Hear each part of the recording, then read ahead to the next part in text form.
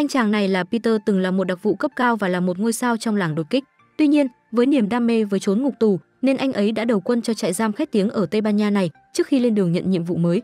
Peter chia tay vợ trẻ con khôn bằng những nụ hôn say đắm. Anh nói với cô nàng Maria xinh đẹp rằng anh hứa sẽ trở về trước khi mặt trời lặn và trả bài đầy đủ hàng đêm. Ngay hôm sau, Peter đến trại giam để nhận việc. Chào đón anh là hai gã đồng nghiệp kỳ cựu sắp về hưu và đã có 30 năm thâm niên trong làng bảo mẫu, trông coi các tù nhân ở nơi này. Để đối phó với những anh hùng bão kiếm mang án tử tù này, quản ngục ở nơi đây cũng phải gọi là chất hơn nước lã. Như một người cha yêu đàn con hết mực, thương thì cho roi cho vọt nên cũng chẳng hề nương chân. Thằng ốm thì cho đi lao động, thằng què lại cho đi chạy marathon, còn thằng lông bông thì cho đi đá bóng, cháu nào ngoan thì được ra nắng phơi cho mát, cháu nào thích hát thì phải ở trong phòng làm bạn với đôi tay, ăn thì ăn cơm chó. Quần áo cũng chẳng có mà mặc cả ngày, đến những bộ pyjama kẻ sọc cũng đã bị quản ngục bớt xén từ lâu. Điển hình như người đàn ông đầu hai thứ tóc này bị mắc chứng ruột thừa, nhưng quản ngục lại cho rằng ẻ chảy, đã chẳng được viên thuốc nào lại còn bị nhốt vào nhà vệ sinh. Quá đau khổ trước những chiêu trò hành xác của mấy thằng cai ngục, ông lão đã dùng bật lửa đốt điếu thuốc cho cứng lại rồi mài thành một lưỡi dao sắc nhọn. Sau đó, tự cắt đứt mạch máu của mình để đưa về thăm nhà vào ngày rằm và mùng 1. Để Peter làm quen với môi trường mới, hai viên quản ngục CHAIN và Seco mùng đầy lông dẫn anh đi một vòng xem tình hình tội phạm ra sao. Hai thằng bạn nói rằng công việc ở đây phải hết sức cẩn thận, bởi lẽ bắt đầu mấy thằng đường châu bàn ngựa này đã khó thì việc trông coi bạn chúng còn khoai hơn gấp trăm lần. Vậy nên việc sống chung với lũ tội phạm ở nơi này là một điều không hề đơn giản. Trường hợp mấy thằng tù không nghe lời thì chỉ cần là một viên kẹo đồng cho chúng yên giấc ngàn thu. Hơn nữa, khi giao tiếp với bạn này, cậu không được tin lời bất cứ bố con thằng nào trong số chúng. Lúng túng là bị chúng sút vào mồm. Khi Peter còn đang ngơ ngác thì bất ngờ một viên gạch từ trên trời rơi xuống, đen thay nó lại trúng ngay đầu của anh. Máu chảy không ngừng khiến Peter ngất trên cành quất. Hai lão quản ngục không thể khiêng được thân hình cao to của anh tới bệnh xá để băng bó vết thương, nên anh dìu anh vào phòng giam 211, cách đó không xa. Căn phòng này chính là nơi phạm nhân bị đau ruột thừa mới tự sát ngày hôm qua nên giờ vẫn còn bỏ trống. Cùng lúc này, một tên hóa đầu nhiều tóc đang quốc bộ đi dạo trong sân, hắn là Jason, đại ca của tất cả tù nhân ở nơi này và là tội phạm nguy hiểm cấp một của trại giam nên được quản giáo ưu tiên cho đi hóng gió mỗi ngày. Đúng lúc quản ngục định còng tay để dẫn hắn ra ngoài chăn kiến thì đột nhiên bị hắn đánh úp và siết cổ. Sau đó, Jason cướp được chùm chìa khóa thì lập tức mở cửa giải thoát cho mấy thằng bạn tù lao ra như ong vỡ tổ. Một vụ bạo loạn đã nổ ra để chống lại chế độ hà khắc ở nơi này.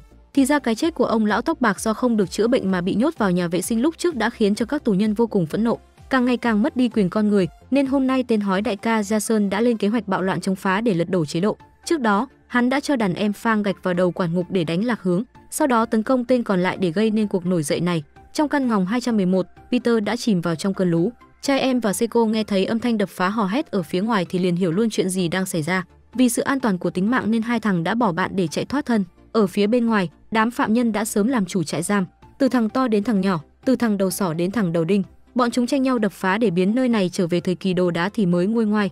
Quản ngục ở phía ngoài cũng chỉ biết đứng nhìn mà nước mắt chảy thành sông. Bỗng dưng một thằng đội mũ đỏ xông vào và phát hiện ra Peter. Hắn ta biết rằng phòng 2 trừ 1 trừ 1 không có người nên đã liền nảy sinh nghi ngờ. May là cái thằng mặt nồi nào hả? Peter vừa tỉnh dậy, anh nhận thấy có gì đó sai sai nên không thèm hé nửa lời. Thấy Peter mùng câm như hến nên tên đội mũ đỏ liền nhốt anh lại, rồi đi mách lẻo thằng đại ca hói đầu của hắn. Peter dựa vào cửa nghe thấy âm thanh bạo loạn phía ngoài thì biết rằng ăn cái lồng đèn rồi.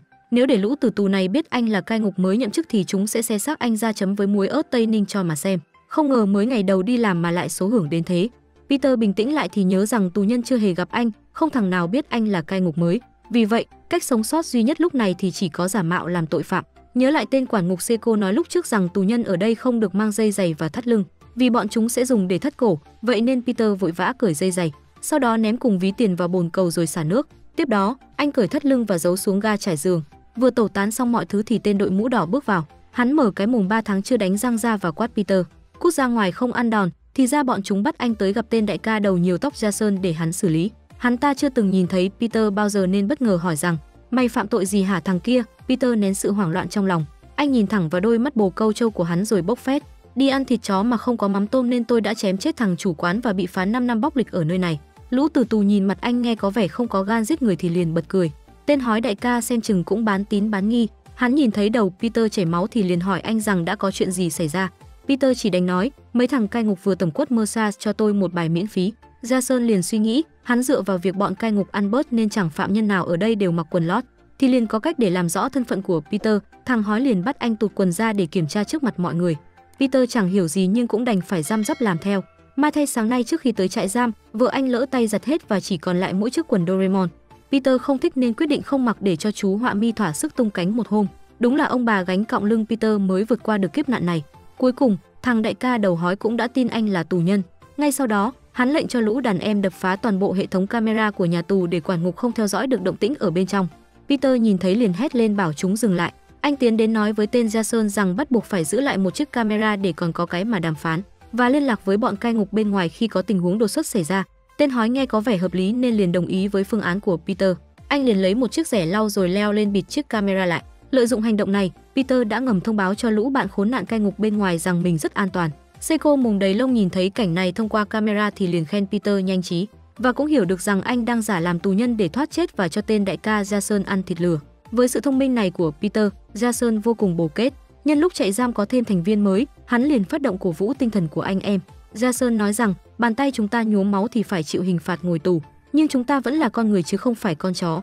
Vậy nên chúng ta nổi loạn là để đòi lại nhân quyền, chứ không phải vượt ngục. Thằng nào không chịu được nhục mà trốn chạy thì tao không ngại đập cho gãy răng, nhưng trong thịt kho thì phải có thịt, tiết canh vịt thì phải có nhân. Nghe những lời của vị thủ lĩnh đứng đầu chạy giam thốt ra hùng hồn như một bản tuyên ngôn độc lập, khiến cho thằng nào thằng nấy phấn khích vô cùng. Nhìn thấy lũ tù nhân lộng hành ngang dọc, tên cai ngục trưởng đầu chọc Tommy liền đề xuất với lão giám đốc mắt cận lấy hàng nóng trong kho dần cho bọn tử tù hỗn láo này một trận. Tuy nhiên lực lượng cai ngục đang còn rất mỏng hơn nữa vũ khí của trại giam thì còn lạc hậu nếu đối đầu với đám phạm nhân này thì vô cùng nguy hiểm. Vậy nên chỉ còn cách cầu cứu chính phủ cử một đội lực lượng phản ứng nhanh đến giúp. Tên hói đầu dẫn Peter vào một phòng giam, nơi đây đang xích một tên quản ngục, mà ban đầu hắn đã siết cổ rồi cướp chìa khóa để giải phóng cho tù nhân. Hắn ta nói với Peter, có phải thằng này vừa đấm chú em chảy máu đầu hay không? Hãy cho hắn môi đi trước, còn răng là lướt theo sau dùng anh. Peter hoảng hốt lập tức nói không, tên quản ngục cũng đang hiểu chuyện gì xảy ra, chỉ cần sơ ý là Peter sẽ hẹo, nên anh ta không để lộ thân phận của Peter.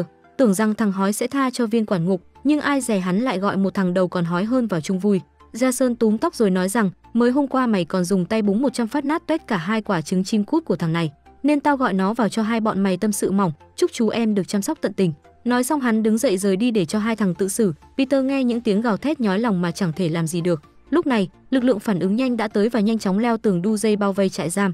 Tên cai ngục trưởng Tommy đề xuất muốn đánh nhanh thắng nhanh, mặc kệ tính mạng của Peter cũng như viên quản ngục đang mắc kẹt phía trong.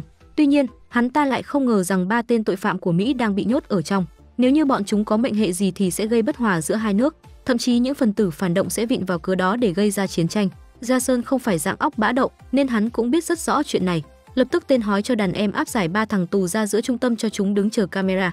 Mục đích muốn cho quản ngục biết rằng nếu cố xông vào thì hắn sẽ tiễn ba thằng này lên bàn thờ ngắm gà khỏa thân. Không những thế, đầu hói mưu sâu kế bẩn còn nhân cơ hội này để thỏa hiệp với chính phủ, đòi những lợi ích lớn cho tù nhân. Nhận được tin ba tên khủng bố người Mỹ đang gặp nguy hiểm, ngay lập tức thống đốc liên bang đã cử đến nhà tù một chính trị gia để giúp sức. Phía bên trong, tên hói bảo Peter viết những yêu cầu cần chính phủ đáp ứng để chuẩn bị đàm phán. Nhìn những nét chữ ngay ngắn của Peter, hắn ta liền có cái nhìn khác về anh và hết lời khen ngợi. Những tên tội phạm thất học cũng tự nhiên trở nên nể phục anh hơn. Quan hệ giữa Peter và hắn ta càng trở nên gần gũi. Hai người ngồi tâm sự như hai thằng đàn ông thì Peter cũng nói ra rằng anh còn có một người vợ đang mang thai 6 tháng đang đợi ở nhà. Đầu hói rất đồng cảm với cảnh ngộ của Peter, bởi lẽ anh cũng đã từng được làm cha và hiểu cảm giác thiêng liêng khi đón đứa con chào đời. Trong mắt Jason, hiện tại Peter đang là người thông minh nhất trong lũ tù nhân ngu dốt, vậy nên anh rất được hắn ta trọng dụng. Tuy nhiên, Peter càng được tín nhiệm thì hai thằng thuộc hạ có tên là Lavabo và Toro càng trở nên bất mãn. Trước khi có sự xuất hiện của Peter thì bọn chúng là hai cánh tay đắc lực của Jason, không can tâm mất đi địa vị vì thế hai thằng này đã âm thầm bàn mưu tính kế điều tra thân phận của anh. Thầy lũ tù nhân càng ngày càng mất khống chế, nhà chính trị gia của liên bang đã quyết định xuất đầu lộ diện để đàm phán trong ngôi ngoài tình hình. Một mình hắn ta bước vào dưới sự giám sát của camera, Peter nghe theo lời của đại ca liền lên lục soát xem hắn có giấu hàng nóng trong người hay không. Nhân cơ hội này, anh đã lên nói thầm rằng con tin ở phòng 225, biết rằng con tin vẫn an toàn, chính trị gia liền phải mềm mỏng. Peter đưa tờ giấy có những yêu cầu mà mình đã viết ra, nhưng ông ta nói rằng tôi cần về báo cáo với thống đốc liên bang. Gia Sơn liên đồng ý và đáp lại, nếu bọn đó bàn bạc quá lâu thì đồng nghĩa với việc ba thằng Mỹ sẽ phải đi chầu Diêm Vương. Yêu cầu của tao cũng không có gì cao cả, cơm no rượu say và ba ngày bay lắc một lần. Tay chính trị gia gật gù đồng ý rồi định quay lưng rời đi. Tuy nhiên Gia Sơn là một người trọng tình trọng nghĩa nên liền gọi chính trị gia lại và nói, cái nóc nhà của thằng em dại Peter đây đang mang thai, mày cho nó nói chuyện với vợ vài câu. Người đàm phán lập tức đồng ý, biết rằng đây là cơ hội giải cứu Peter, nên hắn liền tương kế tự kế bảo anh ra ngoài nói chuyện. Gia Sơn nói thêm, người anh em của tao mà dụng một cọng lông chân thì xem chừng đầu ba thằng kia khó giữ. Peter vừa ngạc nhiên vừa cảm động rớt hết cả nước mũi, anh không dám tin bản thân lại dễ dàng thoát khỏi nguy hiểm như vậy. Nhưng đúng lúc cánh cửa sắt đang mở ra thì bất ngờ có tiếng hét thất thanh trong ngục. Gia Sơn tưởng cảnh sát giở trò cho lực lượng phản ứng nhanh đột kích phía sau, nên liền xông lên tóm cổ chính trị ra rồi dùng dao uy hiếp. Sau đó hắn bảo Peter lên trên thăm dò tình hình, Không cam tâm nhưng hết cách, anh cũng đành vội vàng chạy vào trong xem sao. Thì ra là hai thằng tù choảng nhau vỡ đầu nên mới có tiếng kêu lúc nãy. Cảnh sát phía ngoài nhìn thấy tù nhân bị hẹo qua camera thì vô cùng lo lắng. Hơn nữa, nhận dạng khuôn mặt còn giống hình một thằng người Mỹ thì tưởng rằng con tin đã bị giết. Vậy nên họ quyết định cho lực lượng phản ứng nhanh xông vào đi một đường toàn máu. Tình thế ngàn cân treo sự lông nách, Peter nghe thấy tiếng bước chân bên ngoài thì đoán rằng đặc nhiệm đã bắt đầu hành động. Một khi lực lượng này xông vào thì khó lòng có ai sống sót. Vậy nên Peter đã vội vàng đưa con tin đến trước camera, mục đích là cho mấy anh cảnh biết được họ vẫn bình an vô sự. Nhìn thấy ba thằng Tây Ba Lô vẫn được an toàn, lực lượng đặc nhiệm mới dừng tấn công, cục diễn nguy hiểm đã được giải cứu. Lũ tù nhân vui như bố đẻ em bé, hò reo mừng rỡ. Ban đầu bọn chúng nghi ngờ Peter nhưng qua hành động này của anh thì đã khiến chúng càng trở nên tin tưởng. Cõng anh lên vai như một vị thủ lĩnh, mọi người biểu dương sự nhanh trí của anh. Qua chuyện này, Peter trở thành nhị ca trong tù, sánh bước cùng với tên đại ca đầu phát sáng. Tuy nhiên điều này lại càng làm cho hai thằng đàn em của Jason là Lavabo và Toro càng trở nên ganh ghét. Từ khi Peter xuất hiện thì hai thằng đó đã bị ra rìa. Với phương châm không ăn được thì bố mày đạp đổ. Lavabo bắt đầu lên kế hoạch báo thù, hắn vào kho lấy con iPhone 14 Pro Max phiên bản giới hạn của mình, rồi lén lút báo tin ra ngoài cho lũ nhà báo rằng nơi đây có bạo loạn. Sau khi thông tin này bị dò dì ra ngoài, truyền thông thi nhau đưa tin. Vợ của Peter đang đi uống tà tưa thì cũng xem được trên thời sự. Nhà văn nói láo, nhà báo bốc phét đưa tin có rất nhiều người bị chết và bị thương. Điều này đã khiến rất nhiều người nhà của phạm nhân đều tập trung tại cửa nhà tù. Họ lo lắng người thân của mình đã gặp chuyện chẳng lành, trong đó có cả cô vợ đang mang thai của Peter. Cô vô cùng lo lắng cho sự an nguy của chồng mình. Trong trại giam lúc này, để xoa dịu dư luận và tình hình vô cùng bán căng, quản ngục đã ship đến tận chân răng cho tù nhân Sơn Hào Hải Vị. Tên đại ca Gia Sơn có lòng tốt mang một đĩa tôm vào cho ba thằng tù Mỹ thì một thằng liền hát đổ. Hắn ta là em trai cùng cha khác ông nội với John Wick và đã từng giết 69 mạng người nên to mồm nói rằng nếu mày dám động đến một sợi tóc của bọn tao thì hãy thuê đội khiêng quan tài đến đắp chiếu cho gia đình mình đi là vừa. Thầy hắn dọa giết cả dòng họ của mình, Gia Sơn nói rằng gia đình tao còn mỗi thằng cha dượng chó ghẻ, mày chôn hắn thì bố mày lại biết ơn mày quá. Ở ngoài hổ báo cáo trồn thế nào chứ vào trong đây thì cũng chỉ là mỗi đôi với tao, đúng nhận sai cãi giúp tao xem nào. Nói xong Gia Sơn quay trở lại bàn ăn, hắn cầm một đĩa đầu tôm rồi nhét vào một thằng anh hùng núp. Trong lúc anh em chống lại lính canh thì thằng này lại dám ngồi trong nhà vệ sinh làm bạn với đôi tay.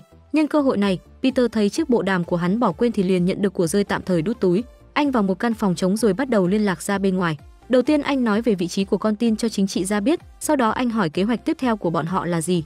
Tuy nhiên, hắn sợ Peter sẽ tiết lộ cho thằng đầu hói thì gây uy hiếp đến tính mạng của ba con tin nên không thèm nói. Peter hỏi, sao các ông không chấp nhận các điều khoản để chấm dứt chuyện này, cứu tôi ra khỏi đây.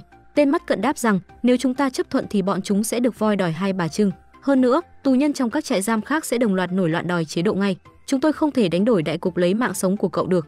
Peter nghe xong thì cũng cạn lời, anh còn không biết rằng nhất cử nhất động của anh còn bị thằng Lavabo theo dõi. Dựa vào hành động ăn cắp bộ đàm của Peter hắn đã biết anh là quản ngục.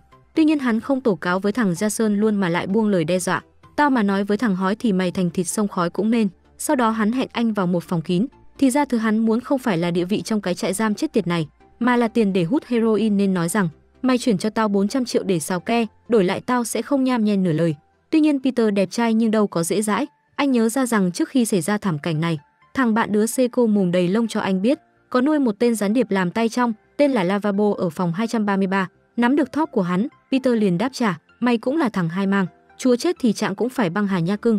Ngay sau, Lavabo liền cứng họng chẳng nói được nửa lời, đành phải để Peter quay gót rời đi. Ở phía bên ngoài, người dân đã kéo đến rất đông, tình hình cũng dần mất kiểm soát. Các phần thủ quá khích đã dùng tuyệt kỹ ném đá giấu tay để tấn công cảnh sát. Maria muốn thoát nhưng lại chẳng còn đường lui. Thấy dân chúng ngông cuồng, tên cai ngục trưởng chọc đầu liền ra lệnh cho binh lính của trại giam sử dụng vũ lực để giải tán đám đông. Điều này khiến thằng thì bị trột, người thì bị thương.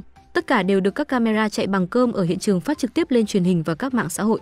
Tù nhân chứng kiến cảnh người thân bị quật cho tơi bời khói lửa thì càng thêm kích động và vô cùng căm phẫn.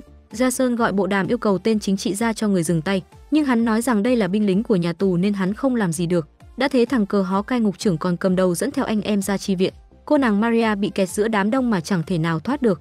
Peter vô tình nhìn thấy vợ mình đang bị mọi người xô đẩy thì vô cùng lo lắng. Anh giật bộ đàm của thằng hói đại ca rồi liên lạc ra bên ngoài, nói với tên chính trị ra rằng hãy cứu lấy vợ tôi vì cô ấy đang mang thai. Nhưng cuộc diện bên ngoài đã mất kiểm soát nên không ai có thể dừng lại được cơn bạo loạn này. Vậy nên cảnh sát chỉ đánh ngắt tín hiệu của thư viện, không cho phạm nhân biết tình hình ra sao. Điều này khiến cho Peter không hề hay biết rằng thằng cờ hó cai ngục trưởng đã ra tay tàn bạo. Trẻ không tha đàn bà hắn cũng đánh nên liền quật trúng mắt của vợ Peter. Khi cô ngã xuống, hắn còn ra sức quật rất nhiều nhát vào đầu khiến cô nàng máu mê be bét và ngất đi lúc nào không hay. Khi bạo loạn kết thúc, Maria cùng các nạn nhân khác đã được đưa vào viện cấp cứu, nhưng cô đã chìm vào trong cơn mê mà không tỉnh dậy được, vì không biết tình hình của người thân của phạm nhân ra sao. Đại ca đầu hói yêu cầu nửa tiếng nữa cảnh sát phải nộp danh sách những người nhập viện và phải tìm được vợ của Peter, nếu không hắn sẽ giết chết một con tin. Peter hỏi về tình hình của vợ mình thì hắn nói dối rằng vợ anh không sao. Khi Peter nói muốn được gặp vợ nhưng tên chính trị gia bảo rằng bác sĩ không cho phép điều đó. Quá lo lắng cho vợ, Peter đánh cầu xin Jason hãy để anh đi. Tuy nhiên hắn không đồng ý và nói rằng không chỉ riêng cậu mà phạm nhân nào cũng có người nhà ngoài đó. Không lâu sau, danh sách những người nhà bị thương được đưa đến nhưng chỉ có 19 người và không có tên vợ của Peter. Tuy nhiên, con số này cũng đủ làm một đại ca đầu đội trời họa mi đạp đất như Jason nổi trận lôi đình. Chúng mày coi tao là thằng ngu đó à, dọa thì cũng nhiều rồi, giờ tao làm thật cho chúng mày xem. Ngay lập tức, Jason cùng lũ đàn em tới bem thằng em của John Wick. Peter lo rằng hành động này sẽ khiến lực lượng phản ứng nhanh xông vào nên đuổi theo rồi đưa ra một đề nghị. Chỉ cần cắt tay của thằng này rồi gửi ra ngoài cho bọn nó thấy quyết tâm của chúng ta, như vậy thì kế hoạch vẫn được thực hiện mà tránh được một cuộc thảm sát. Nghe cũng có vẻ hợp lý, nhưng thằng Toro lại bắt anh phải cắt tay của con tin. Với một thằng mang nhiều tội ác như thằng này thì Peter chẳng cần nương tay. Một lúc sau, đại ca Jason cho gọi anh đến một căn phòng. Toàn các đàn anh cốt cán được bên trong với vẻ mặt vô cùng nghiêm trọng. Điều này khiến Peter có phần lo lắng. Anh tưởng thân phận của mình bị bại lộ thì bất ngờ thằng hói nói rằng bọn cai ngục đã lừa chúng ta, 300 người bị thương và 200 người đang nằm trong bệnh viện cấp cứu, trong đó có vợ của cậu. Thằng cơ hó lavabo móc con iPhone của hắn ra cho anh xem một đoạn video quản giáo đánh thai phụ. Peter như chết lặng vì đây chính là vợ của anh và kẻ hành hung lại là thằng chọc cai ngục trưởng. Peter như sụp đổ, anh không hiểu vì sao một người ăn cơm nhà nước như hắn ta lại có thể ra tay tàn bạo với một phụ nữ đang mang thai như vậy. Biết rằng vợ mình lành ít dưỡng nhiều, anh không nhịn được nữa nên nói muốn gặp thằng cửa hó này để hỏi rõ trắng đen. Jason hiểu được lòng Peter nên đã lên kế hoạch báo thù. Hắn gửi trước tay của thằng em John Wick ra ngoài, kèm theo một tờ giấy yêu cầu tên cai ngục trưởng phải vào đàm phán. Với lý do đơn giản là có quen biết từ lâu sẽ dễ nói chuyện hơn thằng chính trị gia, nếu không sẽ lật mặt với ba con tin. Thằng chọc tưởng rằng đây chỉ là đàm phán đơn thuần nên đã chui đầu vào dọ. Gia Sơn châm điếu cho hắn rồi nhân cơ hội dí dao vào bụng uy hiếp, sau đó bắt hắn đi xuống tầng hầm như đang tâm sự mỏng. Tất cả tù nhân đều nhìn thằng chó ghẻ này với ánh mắt hình viên đạn. Dù sát nhân có tàn bạo thế nào, cũng chẳng ra tay với một người phụ nữ đang mang thai như hắn. Peter cầm điện thoại và hỏi rằng, sao mày ra tay với vợ tao? Hắn thản nhiên đáp, chỉ là tai nạn mà thôi. Mày có biết cô ấy đang mang thai không? Thằng xúc vật học này. ra Sơn bảo Peter bình tĩnh lại rồi nói rằng, nếu vợ cậu không nhấc máy thì chúng ta sẽ thịt thằng này. Peter nhắc bộ đàm liên lạc ra bên ngoài. Tên Seiko dâu sùng nghe máy và bốc phét anh rằng, vợ cậu vẫn yên ổn, chỉ là bác sĩ cho uống thuốc an thần nên chưa thể nghe máy mà thôi. Tuy nhiên, những lời nói dối này làm sao có thể qua được mắt của Peter. Anh nói rằng, mày nghĩ tao là thằng óc chó hả? Mang thai thì ai cho uống thuốc an thần? Đến bước đường cùng, Seiko không muốn bốc phét anh thêm nữa nên anh nói ra sự thật. Tôi xin lỗi, vợ anh đã không qua khỏi. Nhận được tin này, Peter như chết lặng, vợ con là tất cả đối với anh. Nếu đến gia đình còn không bảo vệ được thì anh sống còn có ý nghĩa gì? Các tù nhân cũng vô cùng phẫn uất, xông vào tầm quất cho thằng chó gảy cai gục trưởng tới bến. Hắn ta biết mình đã chọc vào tổ ong vò vẽ không thể chống đỡ được nên liền chơi bẩn hét lên. Peter là cảnh sát, chúng mày đừng để hắn lừa. Quả như lũ tù nhân nghe thấy tin này liền lập tức dừng tay lại, nghĩ đến cái chết của vợ. Peter không nói một lời liền cầm dao xong tới xin tí huyết về đánh tiết canh. Với hành động cho cảnh sát hẹo này, không một ai còn nghi ngờ thân phận của anh nữa. Nhưng lúc này anh đâu còn quan trọng chuyện đó. Mới ngày hôm qua anh còn có một gia đình hạnh phúc viên mãn, vậy mà hôm nay anh và vợ cùng với đứa con chưa chào đời đã âm dương cách biệt. Peter muốn tìm đến các cụ nên quay lại căn phòng 211 lấy thắt lưng mà anh đã giấu dưới đệm trước đó để muốn hẹo, nhưng căn bản sợi dây quá mỏng so với trọng lượng của anh nên đã bị đứt, anh nằm vật xuống đất đau khổ tột cùng. Sau một hồi, anh nhìn thấy những ký hậu khắc trên tường của người đàn ông đã tự vẫn trước đó. Tất cả đều là lên án tội ác của quản ngục đã đối xử thậm tệ với tù nhân không bằng một con chó. Trong chốc lát, Peter đã tỉnh ngộ, anh biết rằng bản thân mình không thể chết một cách vô nghĩa như vậy được. Cái chết của vợ con anh cũng như những nạn nhân ở nơi này là do sự vô trách nhiệm của chính phủ mà ra. Sau cái chết của tên cai ngục trường, tổng thống đã cử đích thân tên bộ trưởng bộ ăn hại đến trại giam để đàm phán. Peter biết mình phải làm gì nên liền kéo xác chết của thằng chọc ra ngoài. Anh hiên ngang nói rằng, tôi chịu trách nhiệm về cái chết này, nhưng đó mới chỉ là khởi đầu nếu các ông không chấp nhận những yêu cầu của chúng tôi thì ba con tin còn lại sẽ cùng chịu chung số phận. Tôi biết lũ quan tham các người sẽ lật mặt hơn cả lật bánh tráng. Vậy nên một tiếng sau, các ông phải công bố trước truyền hình xóa bỏ toàn bộ chế độ ở nhà tù này để phạm nhân có quyền con người. Có thế các ông mới không nuốt được lời, đám tử tù sau khi nghe lời đề nghị của Peter vô cùng tán thành. Đại ca Gia Sơn cũng khen ngợi cách nghĩ của anh. Tuy nhiên, việc bắt chính phủ phải cúi đầu trước tù nhân công khai trên sóng truyền hình thì xem chừng có vẻ hơi khoai. Vậy nên, tên bộ trưởng liền nghĩ ra một mưu hành khác, đó chính là bán đứng Peter. Hắn bảo thằng chính trị gia gọi bộ đàm dụ Gia Sơn ra một chỗ vắng vẻ. Sau đó, ném tập hồ sơ của Peter ở đó và bảo rằng anh chính là người của họ. Mục đích là gây ra xích mích giữa lão đại và lão nhị rồi ngư ông đắc lợi. Không những thể hắn còn nói rằng nếu mày giết chết thằng Peter thì chính phủ hứa sẽ trao trả tự do ngay lập tức. Là một tử tù nhưng Gia Sơn lại là người trọng tình trọng nghĩa. Chúng mày coi tao là gì, giết anh em của mình thì bố mày không làm được. Em tao là cảnh sát thì bố mày vẫn cứ yêu, bọn mày mơ đi. Quay trở về, Jason phát hiện Peter là quản ngục thì có phần hơi buồn. Tuy nhiên một ngày là anh em thì mãi mãi là anh em. Một lần tin thì cả đời sẽ tin nên hắn quyết định cùng Peter chơi lớn một lần xem thiên hạ có trầm trồ. Tuy nhiên, hai người đã đánh giá thái độ nham hiểm của chính phủ. Thủ tướng đã hạ lệnh tổng tiến công, không những thế còn bắt thằng nội gián Lavabo, huy động anh em lắp ráp vũ khí để chuẩn bị cắn trộm Jason và Peter. Trên truyền hình, chính phủ giả vờ thỏa hiệp để thu hút sự chú ý của tù nhân, khiến mọi người vây quanh chiếc TV duy nhất, ai cũng nở nụ cười trên mặt mà không hề đề phòng. Tuy nhiên TV còn chưa thông báo cái chết tiệt gì, thì bất ngờ thằng chó ghẻ Lavabo dẫn người đến, giết chết hai tên canh cửa phòng giam để cướp con tin. Biết rằng ba thằng Tây Ba Lô đã an toàn, bất ngờ lực lượng phản ứng nhanh phía ngoài phóng bom khói vào trong tạo nên một khung cảnh hỗn loạn. Anh em chống chẳng ném bom ra ngoài nhưng cũng chẳng ăn thua.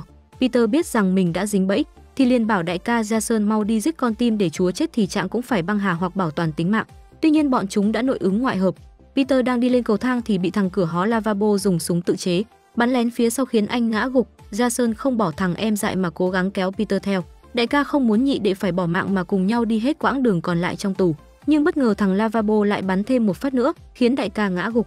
Jason cố gắng đuổi theo thì lại ăn thêm một phát nữa. Lúc này, đặc nhiệm cũng đã đu dây vào trong để đàn áp rồi bắn chết tất cả những tù nhân bạo loạn. Cuối cùng Peter được đoàn tụ với vợ con.